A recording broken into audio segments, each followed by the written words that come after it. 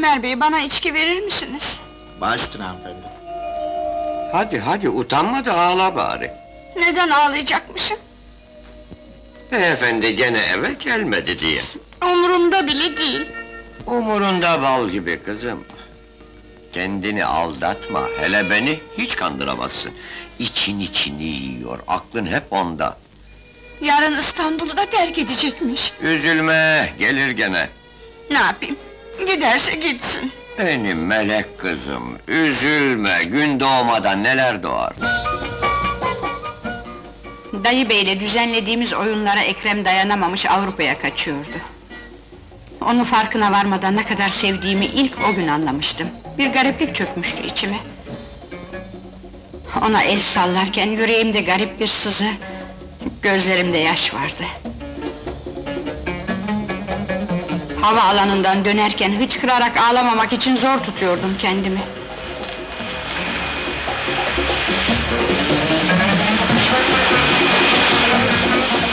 Dayı bey kalbimden geçenleri anlayacak diye de ödüm kopuyor. Utanıyordum nedense. Onun için numara yapmaya, sevinir görünmeye çalışmıştım. Ah, kurtulduk. Avrupa'ya gitti, asıl biz rahatladık. Ağzın öyle diyor ama gözlerin başka söylüyor. Seviyorsun Ekrem'i, şimdi anladım. Sevmek mi? Sanmam. Bütün kadınların hoşlandığı bir erkek ama... Seviyorsun. Biz arkadaş değil miyiz? Benden niye saklıyorsun? Seviyorum dayıcığım. Ölecek kadar seviyorum.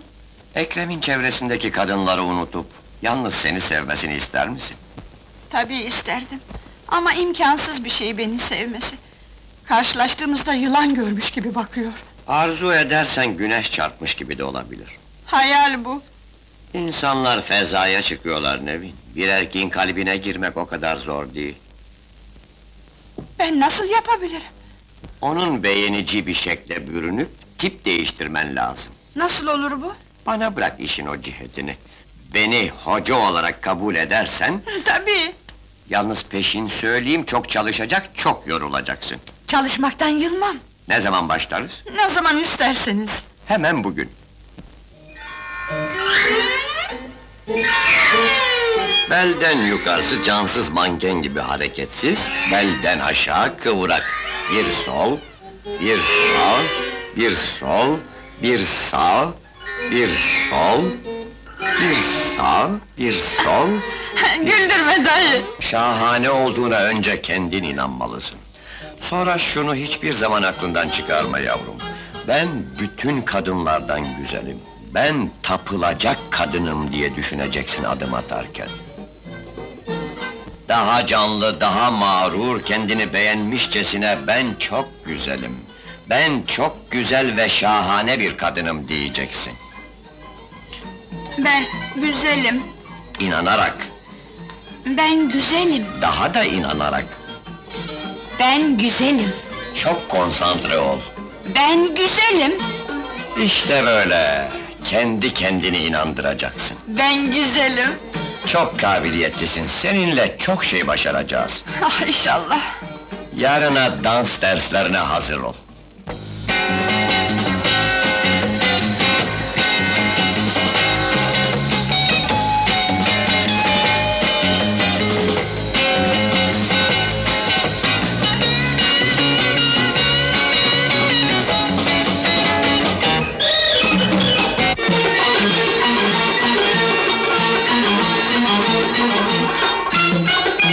Hepsini yaptın ama bu dansözü taklit etmek zor.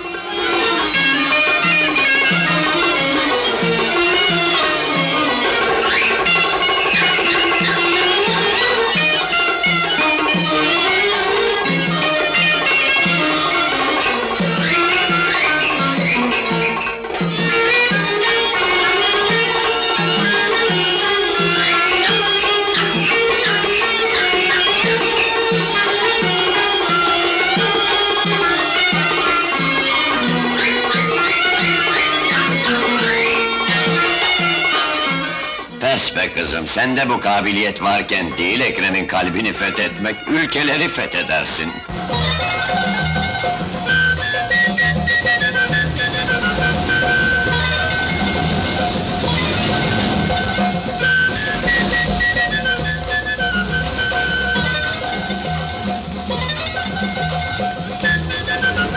O üç ayki yorgunluğumu ömrüm boyu unutamayacağım.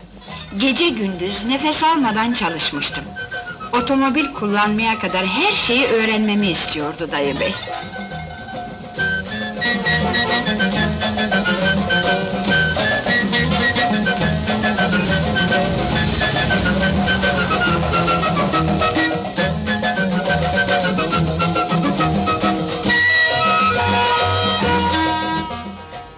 Meğer bilmediğim ne çok şey varmış. Yemek yemesini bile.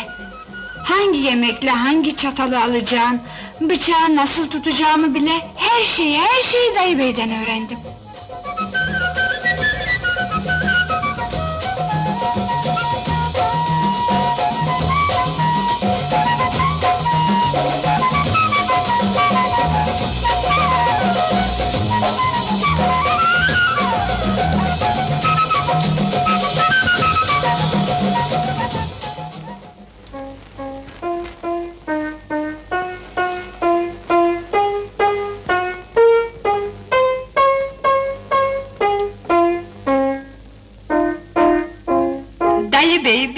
Müzisyenin karısı müzikten de anlamalı diye piyano dersi bile aldırıyordu bana.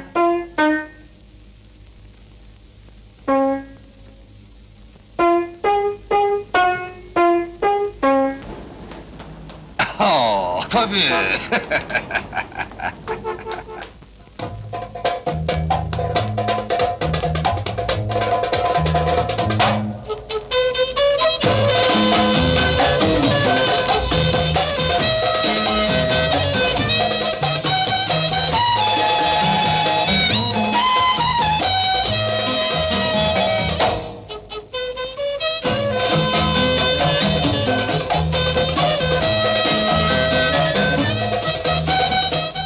Saçlarım sarıya boyanmıştı.